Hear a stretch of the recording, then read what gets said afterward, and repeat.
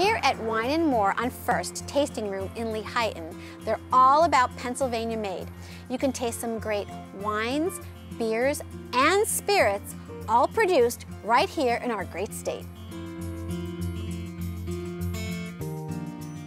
All of the wines they sell come from Stone Mountain Wine Cellars, a family farm located in Pine Grove.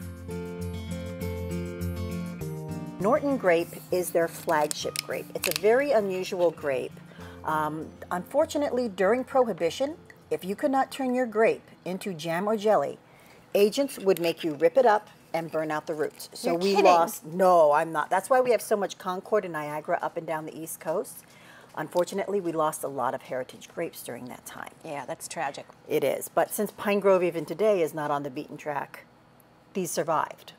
Now, the one you're having in particular Mm-hmm. was created by the grandson. He's discovered he likes bourbon. This is our dry red, aged in a bourbon barrel, and you should be picking up little hints, Taste the bourbon. It's not really oaky, but it's got an interesting flavor. almost like a caramel with a slight hint Yeah. of vanilla to the. And it's very smooth, very nice on the palate. That's a good one. And it's dry, but it's not super dry. no, it's it's a nice beginner.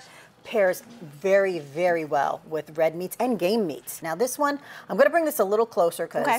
This is our blueberry wine. This is one of our most popular. You can see the color. Yeah, oh, now, lovely. everything here, everything except Chardonnay is Mm-hmm. grown on the farm. So these are, it is a working fruit orchard and dairy. So that is 100% blueberries. It's not grape wine that's oh. been flavored. Yes, that's why it's so popular. It's good. Now, if you'd pass me that bottle there in front of Certainly. you, this is our hard cider. We have three hard ciders. Now, this is the Cowboy. This is our original dry. Okay. As I said, the farm is actually a working orchard, and we'll pour this over here. Now, this is not carbonated, it's slightly effervescent. So the bubbles are smaller and there's less of them. But this is a hard cider, or technically an effervescent apple wine. Wow, that's interesting. You can really taste the crispness of the apples, in there. yes, very crisp. Now we also do a lot of blended wines. If you can hand me the Orchard Blush. Sure. This actually has four different grapes in it. Now this is one of our sweetest wine for those people who really like their sweet wine. This has Concord, Niagara, Fredonia, and just enough Norton to give it this color. Now when you smell and taste this, because of the Fredonia grape, there's Mm. actually almost little hints of cotton candy in that. It's not overwhelmingly, No, very subtle. but That's it's nice and sweet. Know it is. it is. And this is. I said, if you like sweet, we teasingly sometimes call that our adult Kool Aid because it goes down so easily. These are all great selections. Now, how many different wines do you have here? Oh, we have, I think at last count, 44 different varieties. Tina, this has been so much fun, but of course that's not all that you have here at Wine and More, right? Oh no, not at all. We want to serve everyone as much as possible.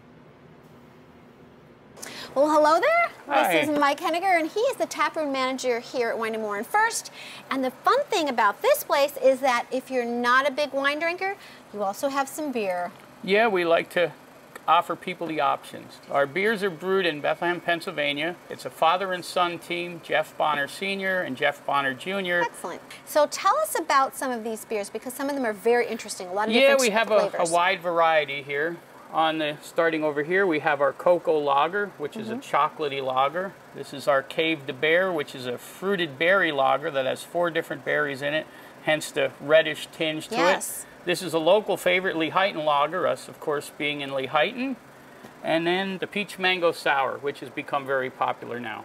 Here we have cans. We also have cans to go, as well as our offerings on tap. And we can do growler fills as well. Well, I think I'm going to try this one. What, what was this one again? That's the Cave de Bear. That's a tart lager with both blackberries, blueberries, raspberries, and strawberries. this is really good. And it's a, people who like don't even like beer like that. Yes, I'm not. I'm not a big It's- beer drinker, but that is very flavorful and it's fruity, which I like. Yep, it's very unbeer like. Yes, I love it. And that's not all. When we come back, Tina makes us a frozen drink using locally produced spirits, and we're finding out about a local wine event happening today.